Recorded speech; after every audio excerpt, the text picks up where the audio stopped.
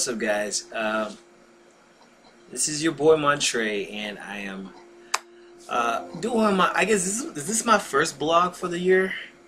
I'm in my new apartment and uh, just reacclimating myself for the new year. Trying to get all set up. Got my dog here, Mister. Have y'all met Mister before? This is my dog, Mister. Hey, Mister. Hey, what's up? He's not very camera friendly.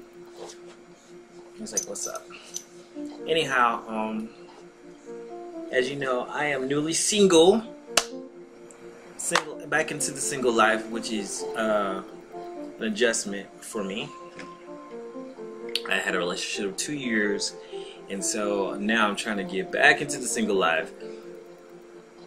And uh, I guess my mindset has changed a lot about what I want and what I'm doing and how I'm doing it.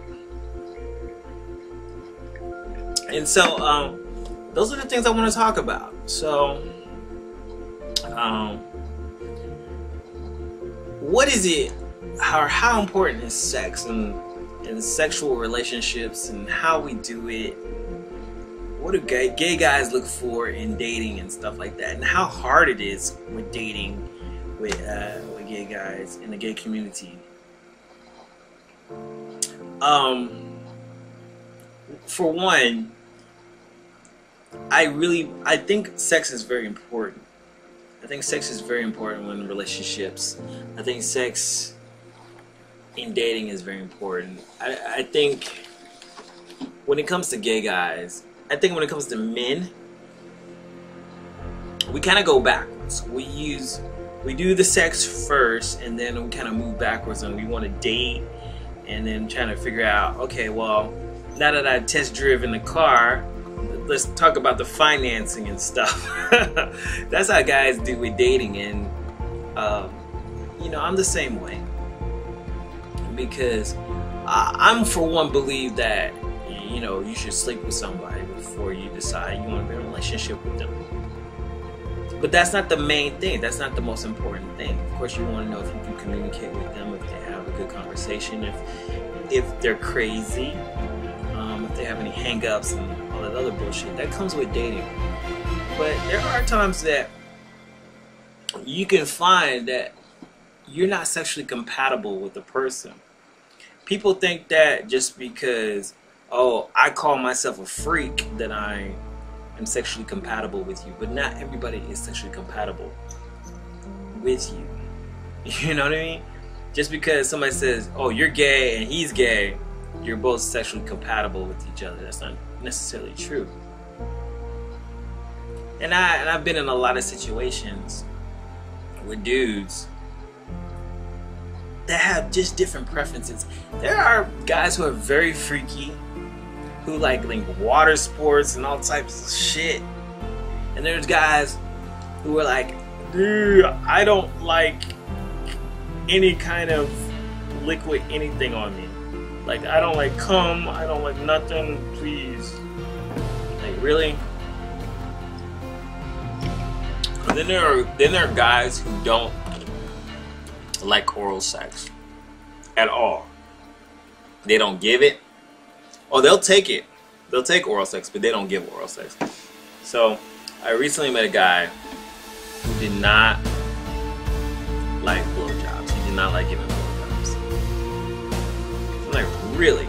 You don't like giving blowjobs, you don't like giving anything. But he'll take all that shit, but he doesn't want to give it. So, yeah, I, am just a little disturbed by that. Just, just slightly, slightly disturbed.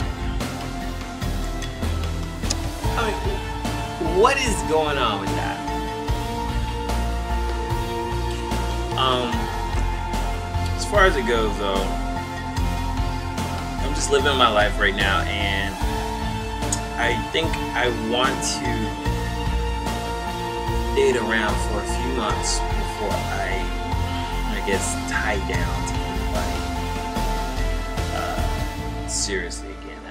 I, I just got out of a relationship, so I'm not trying to be in a jump into a relationship. So I don't think I'll be just like, you know, Valentine's Day, boom, I got me a new boo. Yo, what's up? Here's a new boo.